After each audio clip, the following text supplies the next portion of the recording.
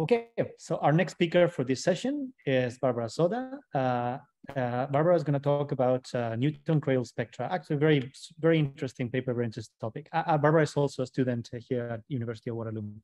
Barbara, uh, whenever you want, the floor is yours. Thank you. so today, I'm also a student at Perimeter. I didn't write it on here, but that's important to mention. So I'm going to tell you about recent work with Achim Kempf that we called Newton Cradle Spectra. The question that we tried to answer in this work was what happens when we add two Hamiltonians? So uh, in other words, what happens to eigenvalues and eigenvectors of a free Hamiltonian when we add some interacting Hamiltonian to it? And typically, we all approach this problem perturbatively, uh, but there are some non-perturbative results, such as the Wigner-von Neumann result on level repulsion, uh, Cauchy interlacing. Uh, but there, we would, I think, all agree that there are too few results because we would all want to understand what happens to the eigensystem when we add an interacting Hamiltonian. But here today, I'll tell you about a new non-perturbative result that we call Newton's cradle spectrum. So we start with a self-adjoint matrix S0 think of a think of some free Hamiltonian, uh, and we know its eigenvalues and eigenvectors. For example, uh, if it acts on a four-dimensional Hilbert space, it has four eigenvalues. Now, what happens to these eigenvalues when we add a projector onto a one-dimensional subspace to it? So here in this formula on the bottom, we've added to our free Hamiltonian S0 a projector VV multiplied by a real number mu which we call the coupling constant. So what happens to the eigenvalues when we add this projector? I can immediately tell you what happens generically. Uh, gener generically meaning when the overlap between the vector v from the projector and an eigenvector of the original Hamiltonian SI, when this overlap is non-zero, we get the, the, what we call the Newton cradle behavior. And the reason why we called it that is that it visually resembles the Newton cradle. So uh, um, when we change the coupling constant mu from minus infinity to plus infinity, um, the, the spectrum behaves in the following way. The smallest eigenvalue shoots up from minus infinity to some finite value when it kicks all the other eigenvalues. And then the largest eigenvalue picks up the momentum and then it shoots off to plus infinity as the coupling constant mu shoots up to plus infinity. And here we'll see a video that shows that behavior. And you'll see the resemblance to Newton's cradle. Okay, and um, one important thing to mention is that um, when this overlap between an eigenvector, let's say S1, and V is zero, then that eigenvalue, in this case S1, would, uh, would stay frozen. So that would be just a, on this graph, it would just be a straight line that all the other uh, eigenvalues would not even notice. So that's like a trivial case where the overlap with the one of the eigenvectors is zero. Okay, um, I've emphasized in the beginning that this is a non-perturbative result. So we have all these uh, formulas that are exact for all values of the coupling constant mu. Um, so we can rigorously prove some things such as that the eigenvalues all move in the same direction um, and there are formulas uh, that uh, support that. So um, they don't always move at the same speed, but they always all move in the same direction, which is important for some applications. Um, another thing is that we can express the new eigenvectors. So the eigenvectors, when we add the interaction Hamiltonian uh, VV, we can express these new eigenvectors in terms of the old eigenvectors Sn, and this is the formula uh, which connects the old to the new eigenvectors. And we have this important property for sampling theory, which is that the spectra uh, in Newton's cradle cover the entire real line exactly once. So when we take the union over all the coupling constants mu and over all the eigenvalues in the spectrum, we get that they cover the, uh, the real line exactly once. Um, and one of the one of the consequences of this is that if we want to create a new spectrum from the old spectrum by adding the projector to the old Hamiltonian, and we want S some number S to be the new eigenvalue of this new Hamiltonian, well, we have this formula in the bottom which connects the coupling constant mu to the new eigenvalue.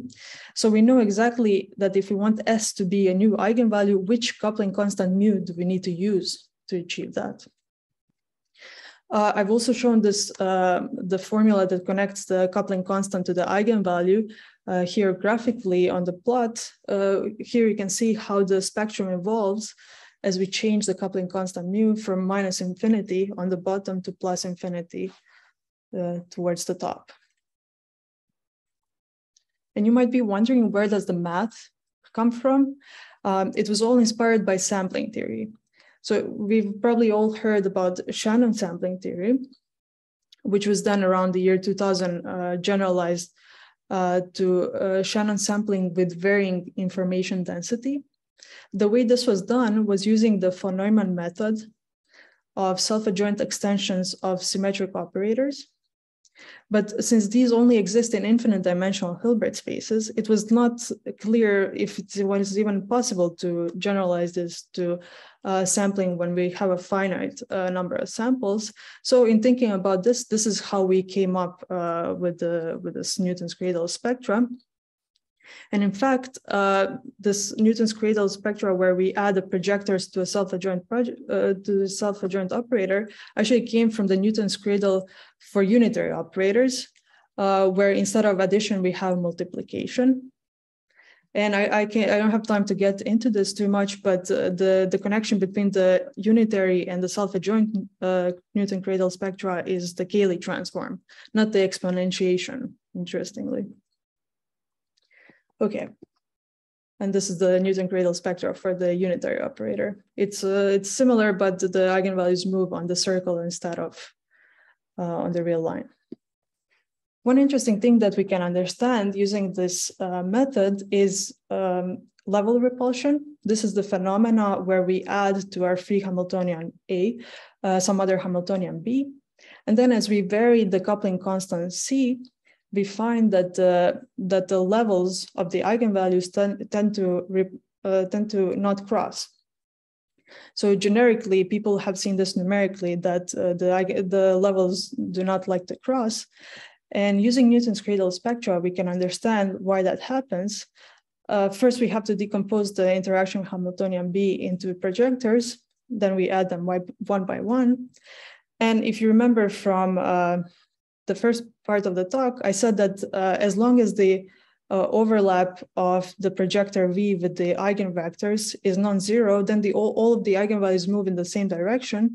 And that's also the reason uh, why they do not cross. If they're moving in the same direction, they do not cross. So generically, this overlap between a projector and an eigenvector is non-zero. So that, that's why generically we don't have level crossing.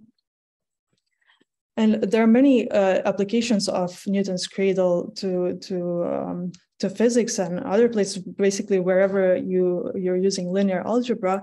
I'll just mention adiabatic quantum computing, where we gained new insights into how algorithmic complexity translates into gap narrowing. And we know that gap narrowing leads to slowdown of computation.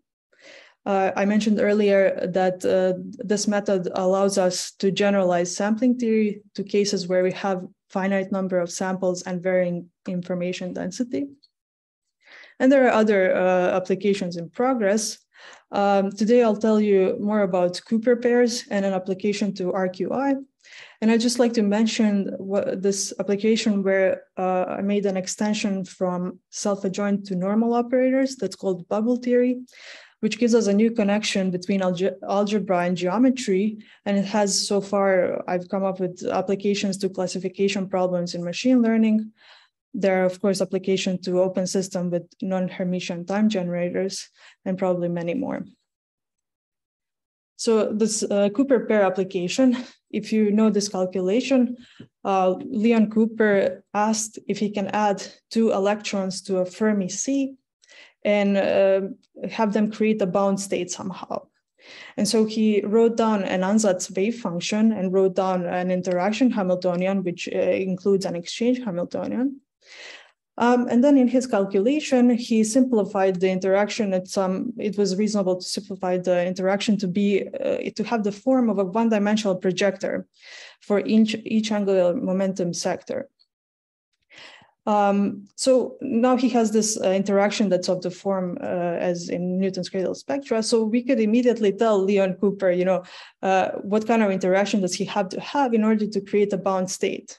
Basically, what he wanted is from a spectrum uh, that has the lowest eigenvalue zero, and then of course some excited states. I made a I made a like a toy a picture here. He wanted to have a new eigenvalue that's lower than zero. And Newton's cradle immediately tells us that if we want to achieve that, we have to add a projector with coupling constant mu less than zero. And that's exactly what he found uh, back then, and that was the precursor to superconductivity. Finally, because this is an RQI conference, I would like to tell you about how Newton's cradle gives us an insight into the dressed vacuum. Um, Two minutes, Barbara. Okay. Uh, so uh, we start uh, in the standard way. We have a, free Hamiltonian and an interaction Hamiltonian between Unruh-Dewitt detector and a quantum field. So the Unruh-Dewitt detector free Hamiltonian is this sigma z. The field's free Hamiltonian is the number operator, same as usual. And in the interaction is just sigma x times phi of x. Okay, if we want to use the methods of Newton's cradle spectrum, we have to write the interaction Hamiltonian as a sum of projectors, which is what I did here. So we have, uh, you know, the we have the tensor product between a sum of projectors for the detector and uh, projectors for the field. And um, we ask, uh, using the Newton's cradle technique, what happens to the ground state? Well, initially the ground state is just a tensor product between the ground state of the detector and the vacuum and the field. Then we look at the interaction Hamiltonian. We identify the terms that will contribute to the change of the vacuum.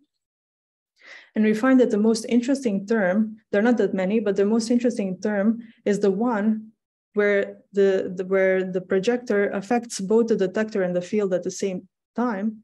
And it's interesting that these uh, subspaces on which they project are kind of like a, a super uniform superposition over all the states of both the detector and the field. And so now we have, uh, we are looking for the, the dressed vacuum is basically the ground state of this Hamiltonian that I've written here. Um, the things simplify if we assume a cavity, which means that we have a gap between our ground and an excited state. And then uh, using Newton's cradle, we can just uh, find um, what, the, what the lowest eigenvalue is what the coupling constant corresponding to this lowest eigenvalue is, and um, the overlap between the dressed vacuum and the old eigenstates. And for example, we can immediately see that um, all of the old eigenstates uh, contribute to the dressed vacuum. And if you want to know more about the details, you have to do this calculation by yourself. I just want to demonstrate how this method can be useful also for RQI applications. So Thank you for your attention. Thank you very much, Aura. Very good.